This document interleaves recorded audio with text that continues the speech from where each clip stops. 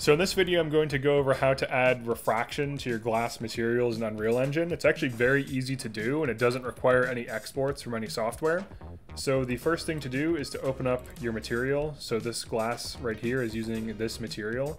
And the first thing you want to do after opening the material up is you want to create two parameters or two constants so you can hold in one and click twice, which will give you two variables that are set to zero and then you want to right click and type in lerp. And what you want is the under math linear interpolate interpolate. And then you want to right click and type in Fresnel. Then you want to create a Fresnel. And what you want to do is you want to set the first value to 1 plug that into A. Set the second value to 1.33 and you can also increase this. So you can set this to 2 if you want to increase the effect. Uh, if you go to 1 or below there won't be any effect so you have to have the values uh, different. So like this value has to be higher. And then you want to plug this into refraction. So this is what the structure should look like. Let me zoom in. A little bit more. Put it let me maybe it won't. All right so you got your two constants, your Fresnel, your lerp, and you plug that into refraction, and the 1 goes into the A, the 1.33 goes into the B, and then the Fresnel goes into the alpha. And then you can hit apply and save. And then the new material now has refraction that looks pretty realistic. So this is a two-sided model, like you can see the inside and the outside and you can see that it's refracting the environment around it. And you can increase or decrease this effect by increasing or decreasing the B value. So for example, if, if I put 1.1 and hit apply, the effect isn't as strong. But if I were to change this to 2, and then hit apply, the effect is actually stronger. So if you want a really subtle refra refraction, you could do something at 1.05. That would be a very subtle refraction.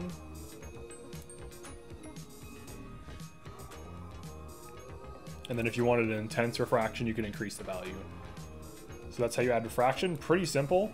The nice thing about this is you can copy and paste this and use this in any of your glass uh, materials and just adjust these values based on the refraction you want.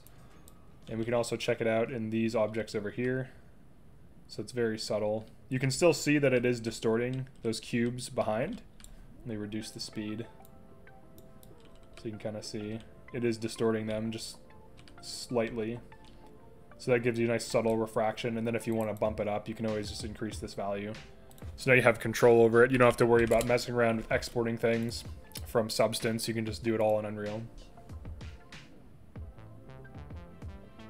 And that we've increased the refraction here, you can see actually looks quite nice. It's crazy how powerful Unreal Engine is, so there you go. Easy refraction. It's pretty cheap too in terms of uh, GPU. It's just a very basic effect, it's nothing crazy gives you pretty nice effect. Let's drop it on this just to see. Let's hit play. let's like bump this up. If it's sitting on something, it like bugs out. Like if it's like perfectly snapped to something.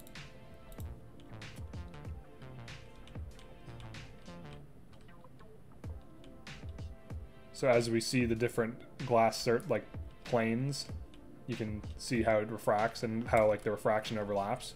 So pretty interesting, pretty nice. So to reiterate, you need to hold in one and click to create two constants. You need to right click and then create a Fresnel. And then you need to right click and create a lerp. And you can actually just type in linear interpolate and it's under math. That's the one you want. It might, if you type in lerp, it might take you to something else. And then the structure is you have top value is 1, the bottom value is anything like greater than 1, so like 1.1, 2, 3, and so on. So we could do like 1.5. and then your A is the 1 value, your B is the 1.5. Fresnel goes into alpha, and then the output of the lerp goes into refraction. And then you can reuse this structure. You can just copy and paste this and plug this in to any material that needs glass. So that's it for this one. Definitely like, comment, and subscribe if you enjoyed this or found this useful. And definitely let me know what you think, and I'll see you in the next one.